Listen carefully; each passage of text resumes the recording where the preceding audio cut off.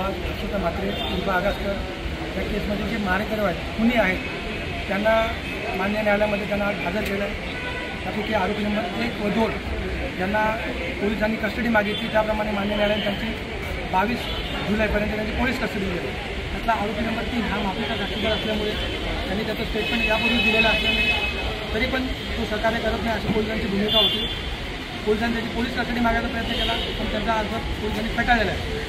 आज आम्ही सगळे वकील बंधू आहेत. आणि सर्वांनी म्हणून आम्ही आज त्या केसमध्ये इंटरव्ह्यू होण्याचा अर्ज आम्ही दाखल केलेला आहे. त्या तो अर्ज आमचा मान्य न्यायालय मंजूर पण केलेला आहे. तो अर्ज मंजूर झाल्यामुळे आता त्या केसमध्ये आमचंही लक्ष राहील. त्या केसमध्ये जे आरोपी आहेत त्यांना यापुढे जास्तीत जास्त शिक्षा कशी होईल त्यांचा जामीन अर्ज कसा रिजेक्ट होईल याकरता आमचं या याकरता आमचं त्याच्यामध्ये लक्ष राहील. सर्व आम्ही ते सर्व वकील बंधू भगिनी आम्ही त्या अक्षताच्या संपूर्ण न्याय मिळेपर्यंत तिच्या पाठीचे आहोत. त्या पाठीशी राहणार आहोत आणि त्या पूर्ण त्या न्याय कसा मिळेल याकरता आमचं लक्ष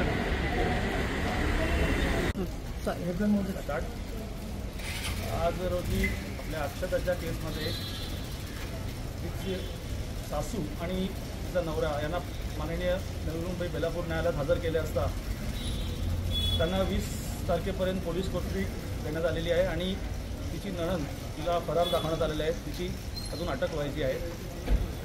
या कामी आमचे समाजाचे वकील बंधू ॲडव्होकेट स्वप्नील पाटील यांनी फिर्यादी रमाकांत म्हात्रे यांच्यातर्फे वकीलपत्र दाखल केलेले आहे आणि रमाकांत आगासकर यांच्यातर्फे वकीलपत्र दाखल केलेलं आहे आणि आपल्या आपण बघत असाल की या सगळ्या आपले बंधू भगिनी आहेत अक्षताच्या बाजूने उभे असताना दिसले.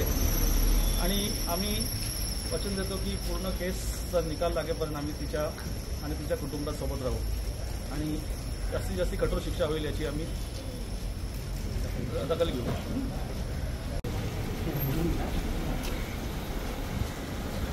आपली अक्षता म्हात्रे तिच्यावरती जे काही निंदनीय कृत्य केलेलं आहे किंवा गुन्हा झालेला आहे त्याचा आम्ही जाहीरपणे सर्व सीबीडी बेलापूर कोर्ट येथील सर्व वकील भगिनी जाहीरपणे निषेध नोंदवत आहोत.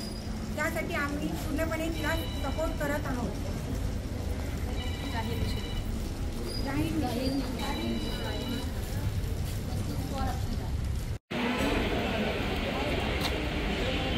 अक्षता म्हात्रे कृपा आगासकर या केसमध्ये जे मारेकरी आहेत कुणी आहेत त्यांना मान्य न्यायालयामध्ये त्यांना आज हजर केलं आहे त्यापैकी आरोपी नंबर एक व दोन ज्यांना पोलिसांनी कस्टडी मागितली. त्याप्रमाणे मान्य न्यायालयाने त्यांची बावीस जुलैपर्यंत त्यांची पोलीस कस्टडी दिली. त्यातला आरोपी नंबर तीन हा माफीचा साक्षीदार असल्यामुळे त्यांनी त्याचं स्टेटमेंट यापूर्वी दिलेलं असल्यामुळे तरी पण तो सहकार्य करत नाही अशी पोलिसांची भूमिका होती. पोलिसांनी त्याची पोलीस कस्टडी मागायचा प्रयत्न केला पण त्यांचा अर्ज पोलिसांनी फेटाळलेला आहे.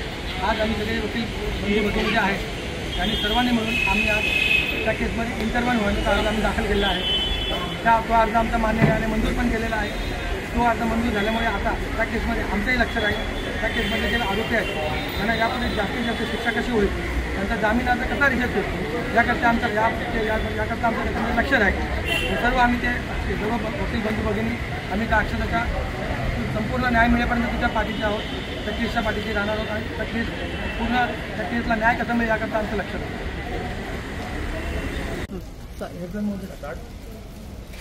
आज रोजी आपल्या अक्षताच्या केसमध्ये तिची सासू आणि तिचा नवरा यांना माननीय नवी मुंबई बेलापूर न्यायालयात हजर केले असता त्यांना वीस तारखेपर्यंत पोलीस कोठडी देण्यात आलेली आहे आणि तिची नणंद तिला फरार दाखवण्यात आलेली आहे. तिची अजून अटक व्हायची आहे. या कामी आमचे समाजाचे वकील बंधू ॲडव्होकेट स्वप्नील पाटील यांनी फिर्यादी रमाकांत म्हात्रे यांच्यातर्फे वकीलपत्र दाखल केलेले आहे आणि रमाकांत आगासकर यांच्यातर्फे वकीलपत्र दाखल केलेलं आहे आणि आपल्या आपण बघत असाल की या सगळ्या आपले बंधू भगिनी आहेत त्या अक्षताच्या बाजूने उभे असताना दिसले. आणि आम्ही वचन देतो की पूर्ण केसचा निकाल लागेपर्यंत आम्ही तिच्या आणि तिच्या कुटुंबासोबत राहू. आणि जास्तीत जास्त कठोर शिक्षा होईल याची आम्ही दखल घेऊ.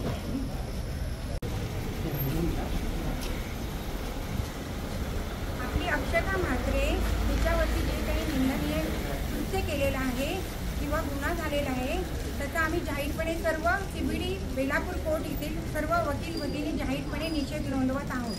त्यासाठी आम्ही पूर्णपणे तिला सपोर्ट करत आहोत. जाहीर